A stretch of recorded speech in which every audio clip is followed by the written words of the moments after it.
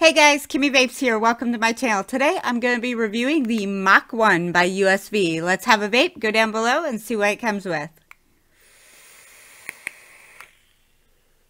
Okay, so here we have the Mach 1 dual battery squonker kit. This was sent over to me by USV for the purpose of this review. Let's go ahead and open up the box and see what this kit contains. So when you open up the box, you're going to have a Mach 1 insert card and this just gives you their socials, their Instagram, their Facebook, as well as their email for servicing. And then we have their warranty card insert and the Mach 1 user manual. You're going to have a spare parts bag with your USV RDA post screws and a spare 510 pin in case you want to use the RDA for something other than squonking. You get this cute little jar here of coils. And on the jar is going to say these are Clapton coils, 26 gauge, wrapped in 38 gauge nichrome 80. Two coils will ohm out to a 0.15 to a 0.18 ohm resistance, which is a really big plus that they include all of that information on those coils. And then you're going to also have your USB charging slash upgrading cable. So setting that to the side, let's go ahead and look at the device. I'll give you some specifications of the device, it is a dual 18650 battery device. It has a 1.3 inch TFT display. The power range is 5 watt to 240 watts. It does support temp control. 200 degree Fahrenheit to 600 degree Fahrenheit. It has an input input voltage of 5 volts to 15 amps, an output voltage of 1 volt to 8.4 volts. The resistance supported is 0.1 ohm resistance to 2 ohm resistance, and it has the available power, bypass, and temperature control modes. Let's go ahead and cover the USV Mach 1 RDA first. Now this is a squonking ready atomizer. It is a 24 millimeter RDA, dual slotted airflow. Whatever you do to one side, it will do to the other. Has an 810 Delrin drip tip, which is really hard to get out when you first get it. Those O-rings are quite tight, but it has a very large bore 810 drip tip. Here's your airflow control ring. You can see all of the different options that it offers and it is a standard two-post design.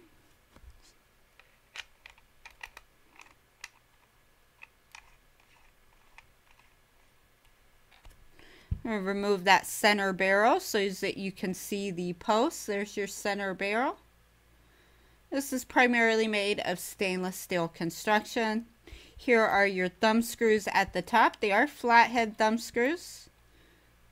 There's your post holes on the sides. And your positive, negative, and there you can see your squonk hole for your squonking. And take a look at the mod real quick. So here is your fire button right here. And then you have your plus and minus buttons situated on either side of your USB port for charging and upgrading. The total dimensions of this is going to be 91 millimeters tall, 54 millimeters wide by 35.5 millimeters deep.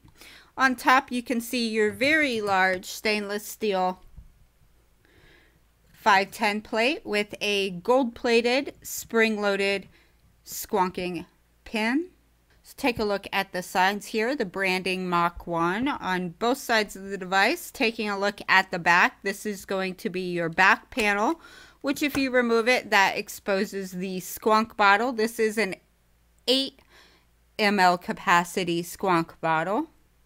You have four magnets on each point to hold on your plate. No wiggle or rattle with that plate, but I will say it comes off really easily. To insert your 18650 batteries or to remove your squonk bottle, you'll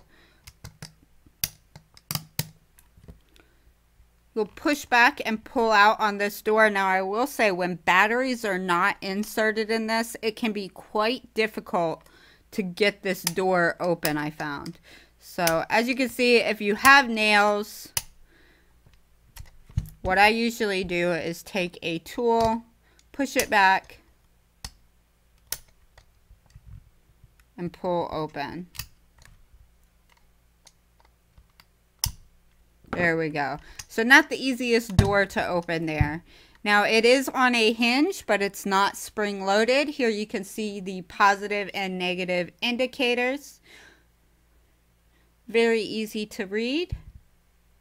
Now to remove your squonk bottle, you're going to put your fingernail or your finger on this notch and push down and that's going to expose that's going to allow you to pull out your squonk bottle. So there you can see the stainless steel tube on the inside.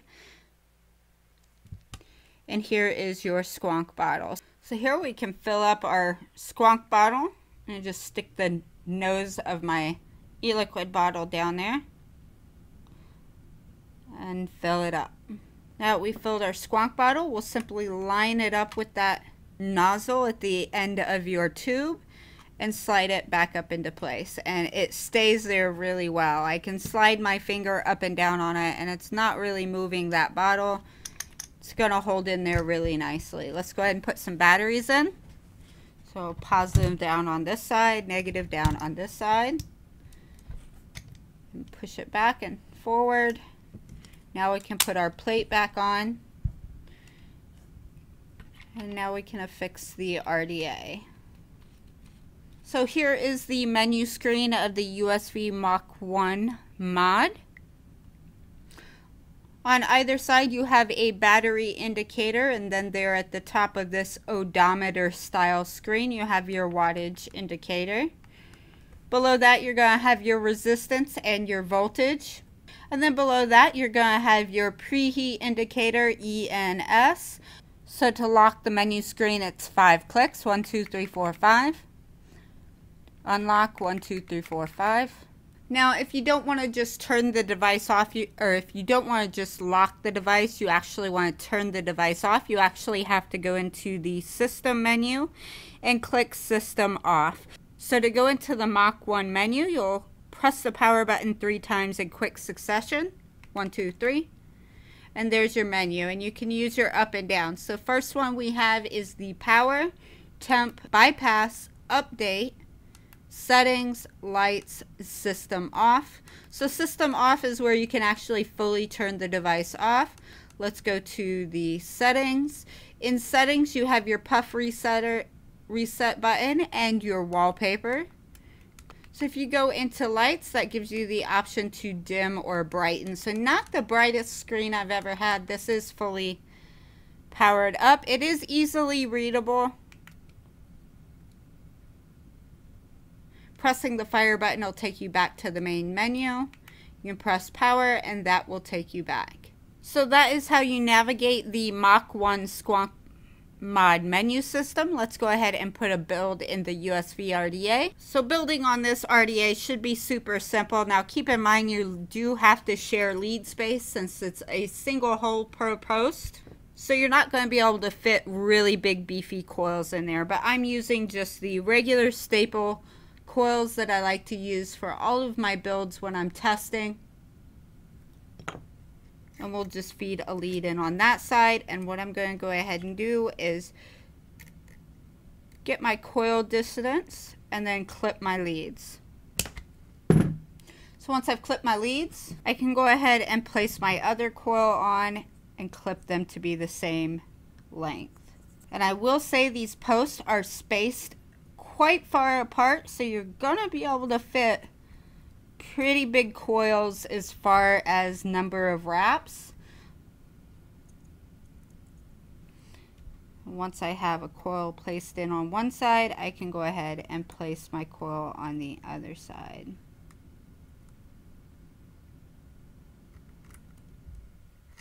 Then I'll just hold both my coils in and tighten down those top screws.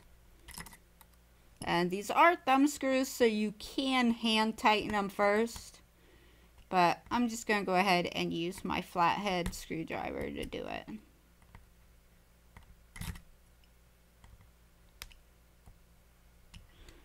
So I have those tightened down. Finish tighten them and then I can straighten my coils out. And you do want to make sure that your coils are not sticking out past the edge of that deck. I'm going to go ahead and do spaced coils for this build.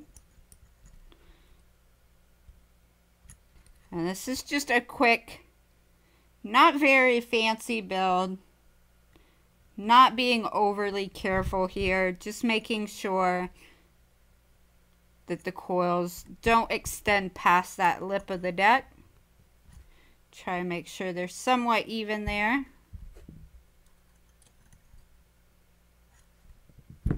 And let's see where my airflow sits. So, so it looks pretty good for where the airflow sits. It's going to hit, obviously, both above it's going to hit there right at the top. That very top line is going to be hitting the top of my coil. And then, of course, everything below that will be hitting the bottom and side of my coil. Let's go ahead and pulse these.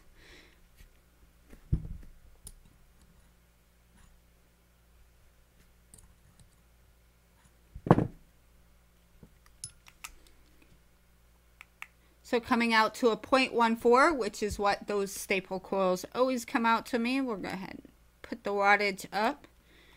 And let's go ahead and pulse those.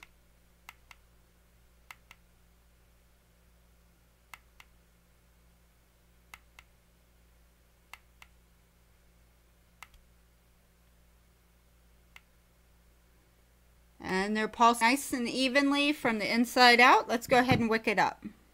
So one thing I want to point out with squonk mods like this that have a flush squonk pin, always make sure that your cotton is nowhere near that squonk pin because you don't want your cotton to accidentally start blocking the hole and prevent e-liquid from going back down into your bottle.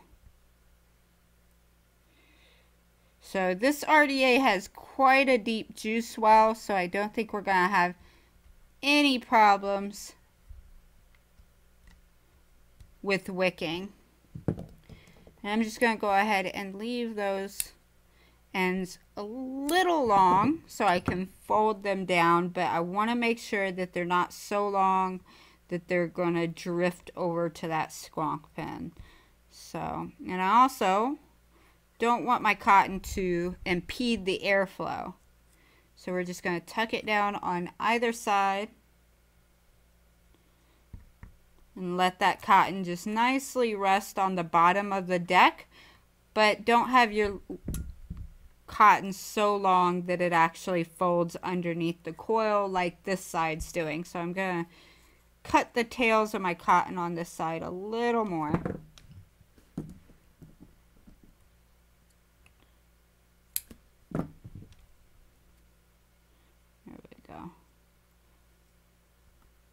Just going to cut, tuck that cotton down there.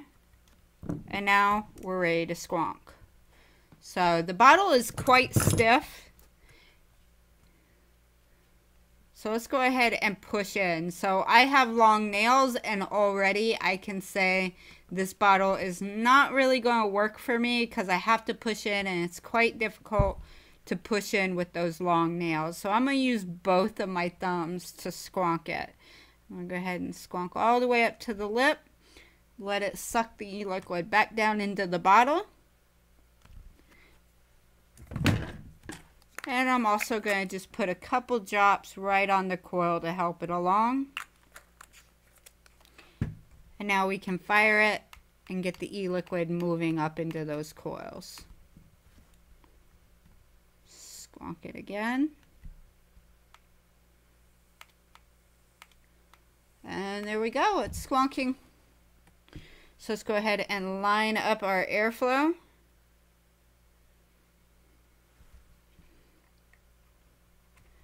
With our coils. Now, for this, it is a two-piece top cap. And there is no locking on it. So what we're going to need to do is hold that center barrel while I adjust my airflow. And we have several different airflow options for this RDA. You have the option to open both the very top row and the bottom row. And you can, of course, close that off halfway, just the top row. Then you can have the center and the bottom row open. And then you start to open that top row again.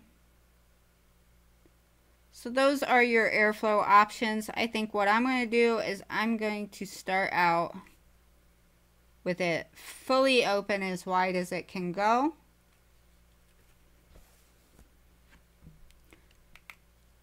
So that is the Mach 1 by USV. Let's go back up top, have a vape on it, and I'll give you my thoughts and opinions.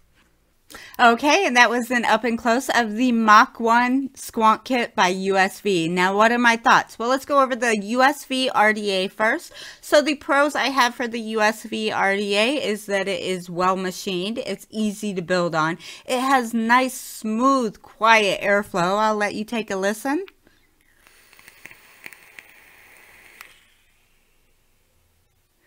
Lots of clouds there. And I even have that closed down to only the middle section open. So when I say lots of airflow, it definitely, if you leave it wide open, has lots of airflow. But you have the option to restrict it down as well, which I like. The next is going to be that it comes with lots of accessories and in those accessories are coils. Let me go ahead and grab those real quick. So the coils that they include here, they actually put the details of what the coils are made of and what type of coils they are. And that is a huge pro to me because as you guys know, whenever a company includes coils with their devices, I really want to know what the material is because I feel that's important for vapors to know, especially if they may have any allergies. So now let's go into a con for the RDA. So the only con I really have for it is that the barrel free spins. As you guys know, if you've watched my other RDA reviews. I don't like when barrels free spin because it makes them difficult to unscrew off of your mod without losing position of your airflow adjustment. And that can be quite annoying if you have to take it off your mod or even if you're just trying to adjust your airflow. Sometimes the airflow can be difficult to adjust and you have to hold that central barrel while you adjust your airflow. Otherwise, the whole barrel spins. So that's the con that I have for the uh, uh, for the RDA. Otherwise, it's a decent RDA. It's not one of my top RDAs, but I think they matched it well with the Mach 1. Now, speaking of the Mach 1, let's get into the pros of the Mach 1 Squonk mod.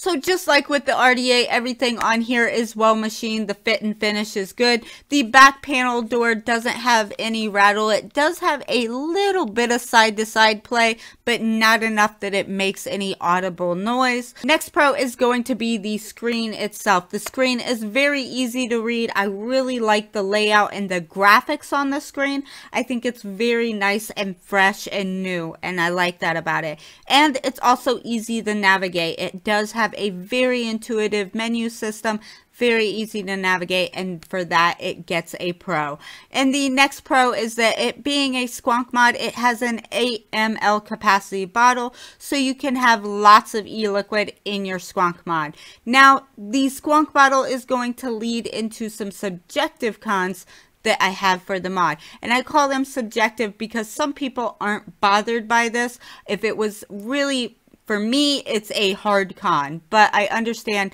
not everybody vapes like I do, so I'm just going to leave it as a subjective con for you guys out there, and that is that it's a proprietary bottle. The bottle itself, you're not going to be use be able to use any other bottle out there, and also for me, what makes me a little iffy with this protect proprietary bottle is that it's made of two different materials. It has silicone, but it also, the backside of it is made of a hard plastic. And I feel like for that reason, it might, when it degrades, it might be prone to cracking or releasing from that hard plastic in the back. So that's a subjective con, but for me, it leans more to a hard con because I really don't like this bottle and I'll explain why. So the bottle is quite deeply inset inside this window. So there's no bottle extending out here for you to push with the fatty part of your finger, meaning you actually have to use the tip of your finger. And if you're like me and you wear nails or you have long nails, That's impossible. I'll be honest, you guys. I don't squonk this bottle with my finger. You know what I do? I pick up something that's small that I can wedge in there, whether it be the back of this, and I squonk it because squonking it with my finger, even with my thumb, it's so deeply inset in there that it's really hard for me to get in there and squonk. So for me, this squonk mod just doesn't do it for me just because of the way that that bottle system's designed, how far it's recessed in that door. Now, if you're a guy and you have big, strong fingers, you'll probably have no time squonking this. So that's why it's subjective. If you guys like this video, don't forget to give it a thumbs up. If you're not already, click that subscribe button. If you are subscribed, don't forget to hit the little bell icon so you get notified the next time I upload a video. Thanks for watching, you guys. Bye-bye.